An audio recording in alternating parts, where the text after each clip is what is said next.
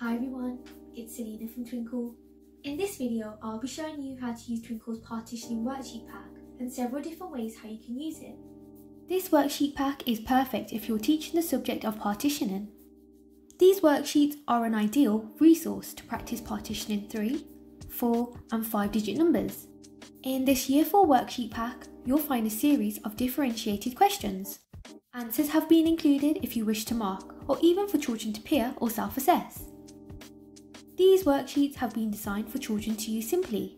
Children must simply separate 3, 4 and 5 digit numbers into the following tens of thousands, thousands, hundreds, tens and ones. Children need to read each number and partition it accordingly. So for example, 7,220 can be separated into 7,000, 200, 20 and 0. Partitioning numbers allows us to separate large numbers into smaller series of digits. Partitioning allows children to see the different values between digits.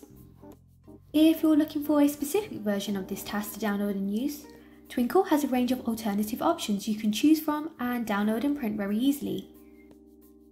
If you're looking to extend children's learning further using this task, here are a few ways.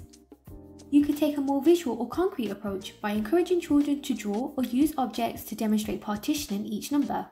Children could simply draw or use base 10 or even place value counters to prove their answer when partitioning. Why not get children to take a more hands-on approach when practicing their partitioning skills? You could get children to jot down ones, multiples of tens, and hundreds, up to whichever multiples of numbers your child feels most comfortable with on a piece of paper.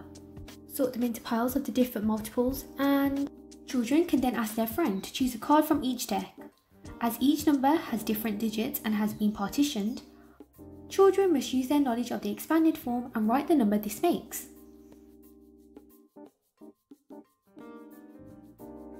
I hope you found this video and the different types of activities helpful. Thank you for watching and see you soon.